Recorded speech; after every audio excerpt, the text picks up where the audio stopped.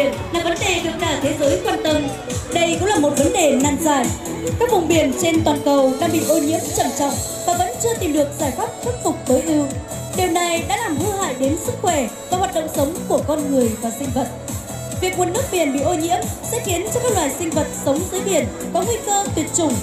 Các hoạt động khai thác biển sẽ không còn được diễn ra, nguồn lợi kinh tế từ môi trường biển cũng suy giảm. Cùng với đó, các hoạt động du lịch biển cũng suy giảm, làm ảnh hưởng tới ngành du lịch của nước ta. Vì vậy, tổ dân phố 6 phường Minh Xuân cùng nhau thiết kế làm mô hình trung thu đại dương xanh với mong muốn mọi người có ý thức trong việc bảo vệ môi trường nói chung và bảo vệ môi trường biển nói riêng. Tiếp theo mang mã số 35 là mô hình mèo đuổi chuột tổ 9 phường ỉ La, thành phố Tuyên Quang. Mèo là linh vật thứ tư trong 12 con giáp, là biểu tượng của sự gần gũi thân thiện, sự kiên trì, nhẫn nại, sự tính toán cẩn thận, tỉ mỉ trước khi thực hiện. Về phong thủy, mèo là linh vật mang lại sự thịnh vượng, cát tường nhờ linh lực của mèo để hòa giải sát khí. Trong cuộc sống thường ngày, mèo là thú cưng của nhiều người với con người, chúng hiền lành như những người bạn, giúp xua đuổi tiêu diệt loài gặm nhấm đồ dùng, làm lây lan một số mầm bệnh. Đặc biệt, đối với người nông dân, mèo giúp diệt chuột, phá hoại mùa màng, cây trồng, góp phần cho người nông dân có những vụ mùa bội thu thắng lợi. Với ý nghĩa đó, năm 2023, nhân dân tổ dân phố 9 phường ỉ La đã chuẩn bị chu đáo bằng những vật chất tự nhiên sẵn có dưới bàn tay khéo léo của nhân dân và tổ dân phố. Hôm nay mang đến hội thi mô hình đèn trung thu với chủ đề mèo đuổi chuột với mong muốn tạo nên không khí vui tươi, phấn khởi cho trẻ em trên địa bàn thành phố trong mùa lễ hội trung thu và mang đến hội thi thông điệp đó hãy nói không với giết mổ và ăn thịt mèo. Hãy coi mèo là thú cưng Tổ dân phố 7 phường Minh Xuân, thành phố Tuyên Quang mang đến hội thi mô hình lăng phục xung vầy với mã số 36. Từ ngàn năm nay, hình ảnh con rồng đã dần dần ăn sâu vào tâm thức của người dân Việt Nam. Sự xuất hiện của rồng đem lại những điều tốt lành, sự may mắn và thuận lợi bình an. Nhân dân xưa quan niệm rồng là sự sứ giả để con người có thể gửi gắm những ước nguyện của cuộc sống, cầu mưa thuận gió hòa, xã hội yên bình, ấm no, phát triển mạnh mẽ Sông phượng đứng cạnh nhau như quy tụ tinh hoa, sức mạnh từ vạn vật là đại diện cho quý phú quý giàu sang. Rồng là vua, phượng là vợ vua, rồng phượng xuất hiện cùng nhau thể hiện sự hòa hợp của âm dương đất trời. Mô hình Long Phục xung vầy, nhân dân tổ dân phố 7 phường Vinh Xuân mong muốn gửi tới lời chúc may mắn, an lành, tốt đẹp cho mọi người dân và du khách gần xa khi nhìn thấy mô hình này. Đồng thời muốn lan tỏa thông điệp mỗi chúng ta hãy bảo vệ nguồn cội con rồng cháu tiên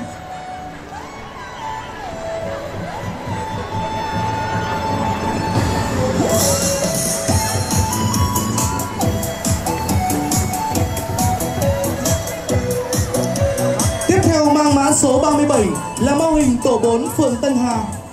Chảy hội thành tuyên cùng vịt Donald ai trong chúng ta từ nhỏ lớn lên đều mang trong mình những ấn tượng không thể quên là cứ đến Tết Trung Thu lại được rước đèn trên các con phố. Các mô hình đèn Trung Thu từ xa xưa được mô phỏng hình của ngôi sao năm cánh, đèn kéo quân, các con vật mà các em nhỏ thường gần gũi, yêu quý như con cá, con tôm, con chim, con rồng. Tuy vậy, ngày nay trong xu thế hội nhập quốc tế, các câu chuyện phim hoạt hình sản xuất từ nước ngoài đã được du nhập vào Việt Nam. Các câu chuyện phim hoạt hình mà các cháu thiếu niên nhi đồng yêu thích phải kể đến như Doraemon, Tom và Jerry, chuột Mickey, Nobita, vịt Donald.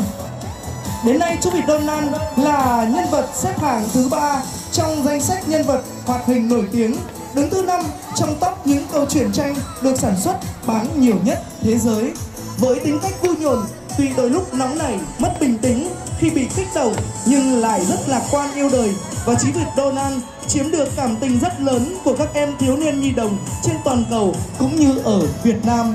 Do có sự yêu mến vì Donald, hôm nay các cháu thiếu niên nhi đồng của tổ dân phố 4 phường Tân Hà Thành Tuyên tham gia lễ hội Thành Tuyên với chú vịt Donald thật đẹp.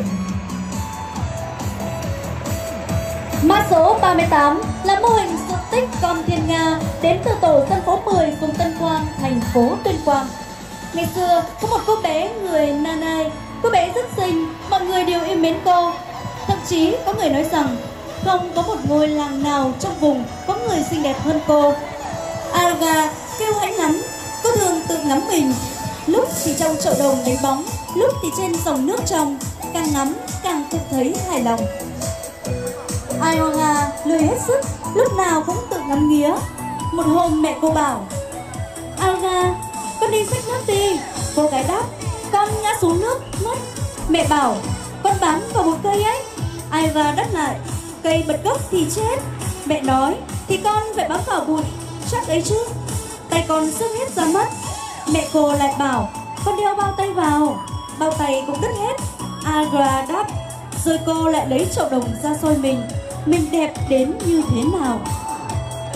Tiếp theo, mang mã số 39 là mô hình Quý Mão tỏa ngư vượt Long Vũ, tổ dân phố 10, phường Minh Xuân, thành phố Tuyên Quang. Hòa trong không khí náo nhiệt, vui tươi của đêm hội Trung thu năm nay, tổ dân phố 10 tham gia hội thi với mô hình Quý Mão tỏa ngư vượt Long Vũ.